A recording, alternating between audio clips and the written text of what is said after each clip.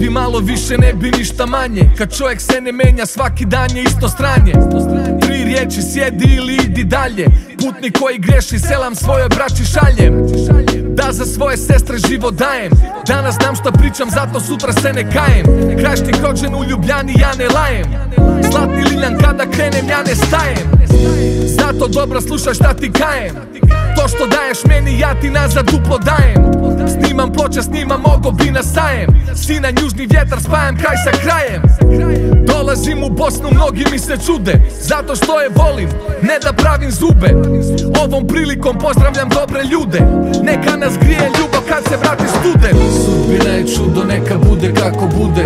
Ljudi rano ustaju, ali se ne bude Ne odustaju kada treba da ti sude Gledam svoja posla, prilike se same nude.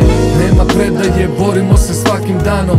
Neka teška stvari odradimo na lagano. Život nije samo ravno, učim vozit slalom. Učim dove Bogu, ne želim pak sa žavlom Boj se ovna, boj se govna, kad ću ja da živim? Često pričam s Bogom, nikad ljude ja ne krivim a nekim ljudima se stvarno divim Što kroz razgovor sa njima pogled širim.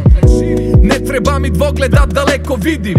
Mogu odbiti mi pero, ali krila širim. Slušam sevda kada treba da se smirim Sam na strani istine, ja ne žmirim.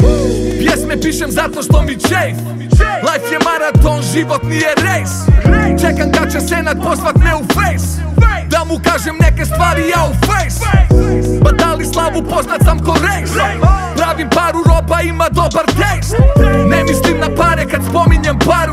Spreman na beef, onaj što mi je na žaru. Sudbina je čudo, neka bude kako bude. Ljudi rano ustaju, ali se ne bude. Ne odustaju kada treba da ti sude. Gledam svoja posla, prilike se same nude. Nema predaje, borimo se svakim danom. Neka teška stvari odradimo na lagano. Život nije samo ravno, učim vozit slalom. Učim dove Bogu, ne želim pak sa žavlom kada zemlja gori i kad me duša boli Znam da me neko voli. Kada me muke lome, kada mi fali love Ne mogu da me slome. I kada zemlja gori i kad me duša boli Znam